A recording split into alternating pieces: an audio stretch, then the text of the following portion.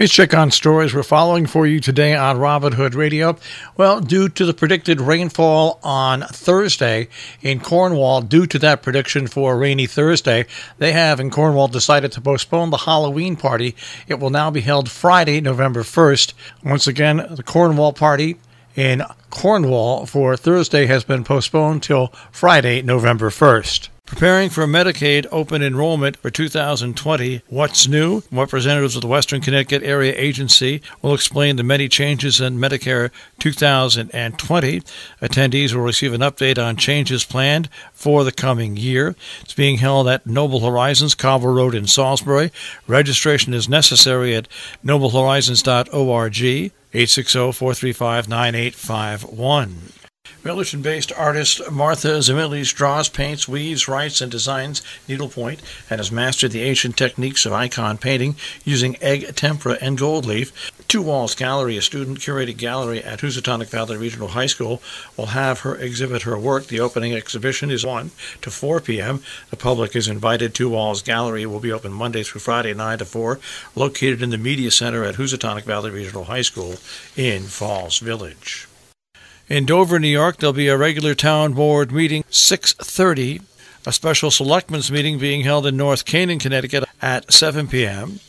Irondale Schoolhouse on Thursday the 31st presents a haunted Halloween with DJ Jeremy, costume contest goodies, and fun for all. A trophy ceremony for the business window competition. That all happens in between 4 and 9 p.m. Falls Village Recreation invites you and your family to a Halloween party October 31st, 5:15 to 7:30 at the Center on Main, Falls Village.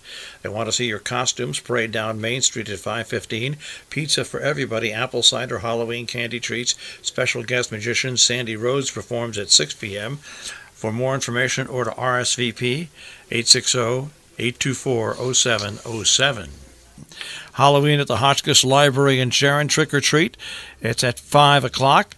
This year is a very special day at the Hotchkiss Library. Visit them if you dare for tricks, treats, and surprises.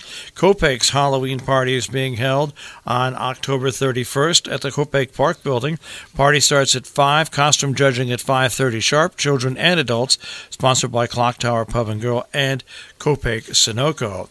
The Sharon Fire Department Ladies Auxiliary Annual Halloween Gathering is happening on Thursday the 31st at 5:30 at the Sharon Firehouse. Sharon preschoolers through third graders are welcome. Costume judging at 5:45. SVNA Hospice Floating Lantern Ceremony to honor and remember will be held Friday, November 1st, 4 till 5:30 at the Town Grove in Lakeville, Connecticut. Light refreshments will be served. Everybody is welcome. They're asking you to RSVP and check in advance at 860-435-0816. A Bunko fundraiser sponsored by the Sharon Fire Department Ladies Auxiliary on Friday the 1st at the Sharon Firehouse. Doors open at 6:30. Playing starts at 7. The uh, hoard prizes, half goes towards the auxiliary fundraiser, half goes towards the winner.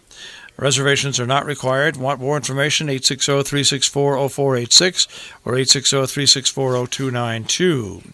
The Salisbury Rotary Club and King Arthur Flour sponsoring a cupcake challenge on Saturday, November 2nd from 10 till 2 at the Pilgrim House during the annual Calico Fair. It's $10 to enter. Funds raised will provide a roof for the Pilgrim House in North Canaan, which houses Fishes and Loaves, the food pantry, and closets. Contact Heidi at 860-248-1717 or Fran Chappelle at 860-824-0597 to participate or donate to the cause. The Ed McGuire Memorial Cannonball Run, the 5K will take place on November 2nd at noon. Walkers at 11:30. The traditional firing of the cannon will start the race. An awards ceremony will follow on the green. Prizes will be awarded to the two top female and male runners in nine different divisions.